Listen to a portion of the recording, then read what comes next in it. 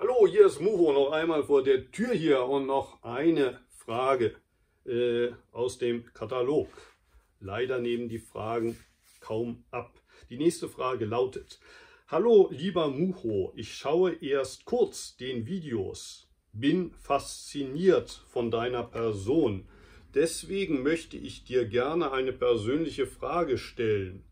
Wo und wie war der erste Funken in deinem Geist? Ich bin Buddhist.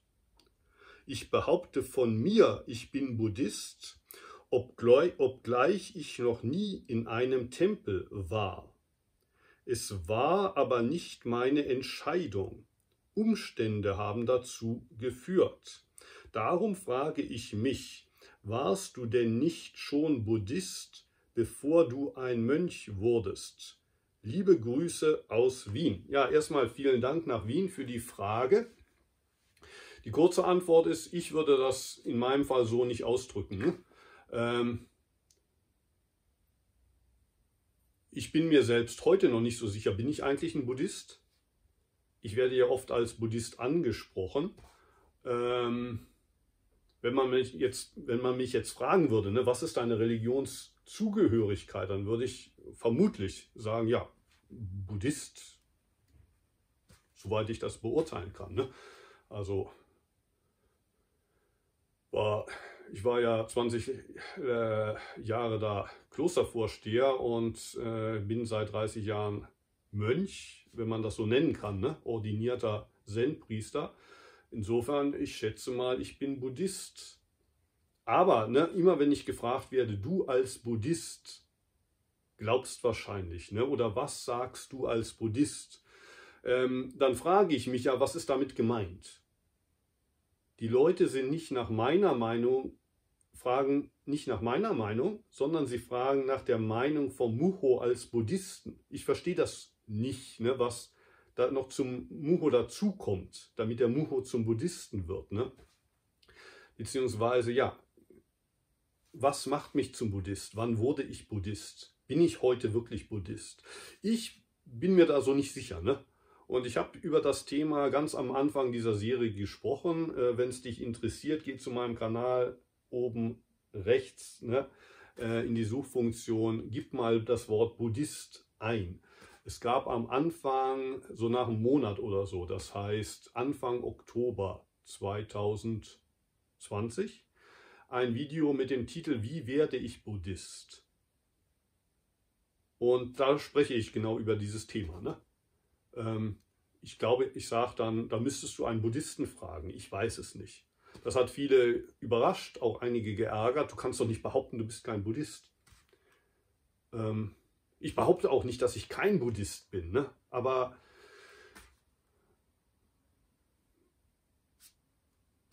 ich weiß halt nicht. Wenn ich Buddhist bin, und ich bin gerne Buddhist, also wenn ihr sagt, der Muho ist natürlich Buddhist, dann bin ich damit zufrieden. Aber ich wüsste jetzt nicht, was mich zum Buddhisten macht. Ne? Also ich habe das Problem auch so ein bisschen, wenn es jetzt zum Beispiel ums Gendern geht. Ne? Bin ich ein Mann, bin ich, ein bin ich eine Frau? ich würde sagen, vermutlich ein Mann, soweit ich das beurteilen kann. Ne? Biologisch auf alle Fälle. Ne? Und ähm, wenn es jetzt um das Gender geht, ich, ja, vermutlich ein Mann, aber ich weiß es nicht. Ne? Es wird ja oft gesagt, Gender ist nur ein Konstrukt. Damit kann ich gut äh, leben. Ne? Gender ist nur ein Konstrukt. Wenn ich mich, wenn ich jetzt aber gefragt werde, bist du, bist du ein Cis-Mann?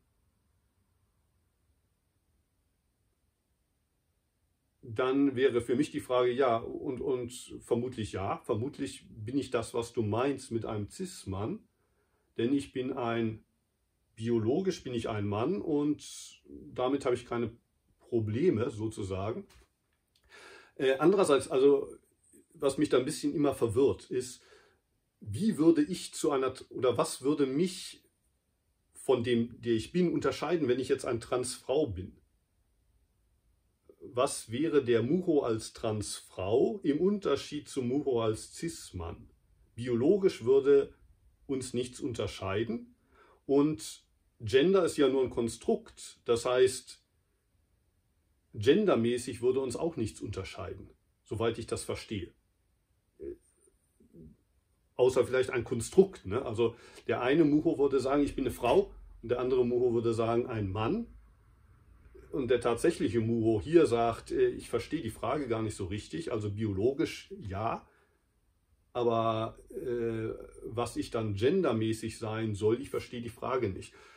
Ähm, andererseits scheint es vielen Leuten heute sehr wichtig zu sein, dass man sich da festlegt und genau sagen kann, ob man jetzt trans ist oder cis, ob man Mann ist oder Frau oder queer oder plus oder, oder beides. Ne?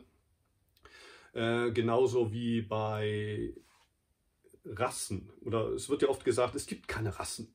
Es gibt nur eine Menschenrasse. Aber es gibt keine verschiedenen Menschenrassen.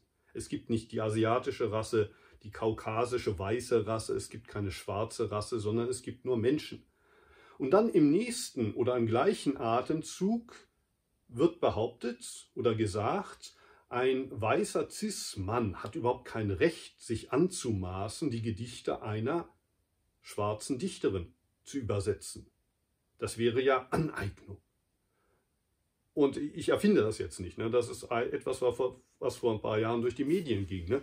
Darf sich ein Weißer, ich glaube es war ein Baske, das überhaupt anmaßen?